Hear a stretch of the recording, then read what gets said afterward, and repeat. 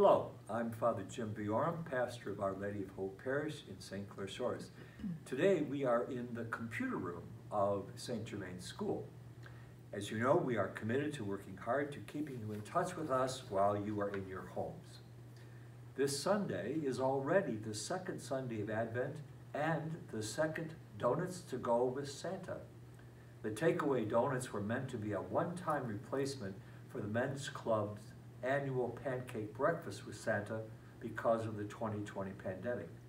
Who would have thought that we would still be dealing with the pandemic a year later?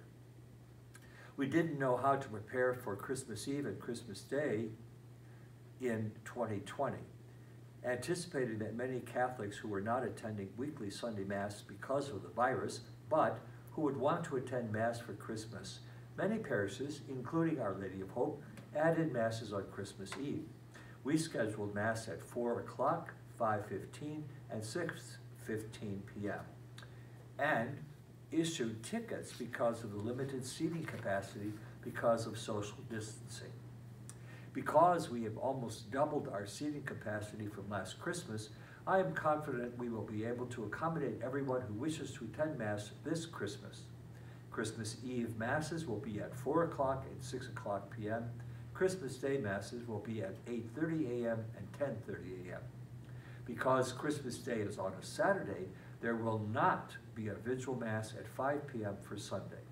Masses for Sunday, December 26, the Feast of the Holy Family, will be at 8.30 a.m. and 10.30 a.m.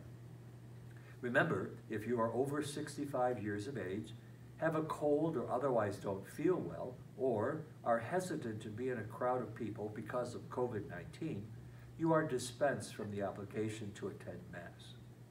If you are comfortable wearing a mask, please do so. You won't be the only one.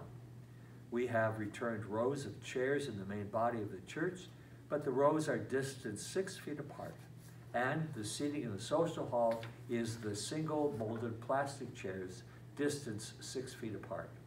For the distribution of Holy Communion, the ministers are masked and will sanitize their hands before beginning distribution. If you wish to receive communion on the tongue, please wait until you are at the end of the line for communion. Opłatki, Christmas wafers, will be available on a table in the gathering space beginning this weekend. They are also available at the Parish Center office. Calendars for the new year will also be available. On the fourth Sunday of Advent, December 19th, we will put copies of Bishop Fulton Sheen's book out as well. It is the parish's Christmas gift to you. It can be read in the same way as Mother Teresa's journal, which was our gift to you last Christmas.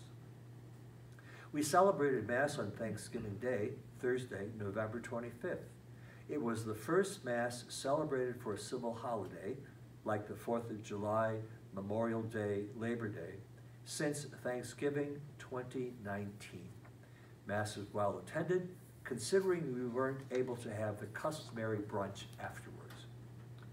This coming Sunday, December 5th, as already announced, the Men's Club is sponsoring the second Donuts to Go with Santa from 9 a.m. until noon in the Activity Center parking lot.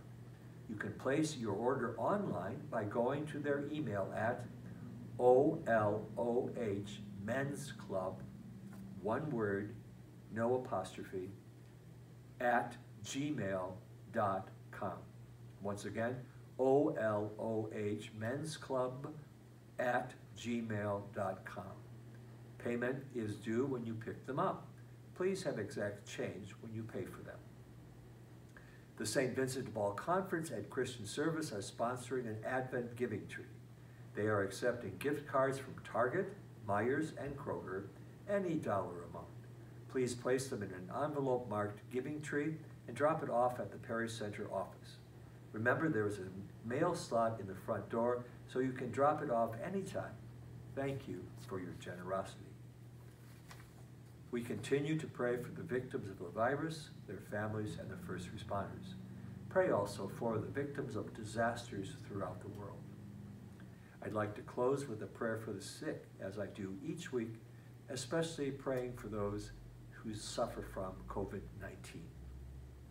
Let us pray.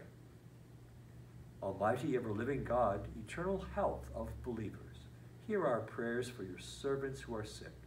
Grant them, we ask you, your merciful help, so that, with their health restored, they may give you thanks in the midst of your church. We ask this through our Lord Jesus Christ, your Son, who lives and reigns with you in the unity of the Holy Spirit, God, forever and ever. Amen. Thank you. God bless, and we'll chat next.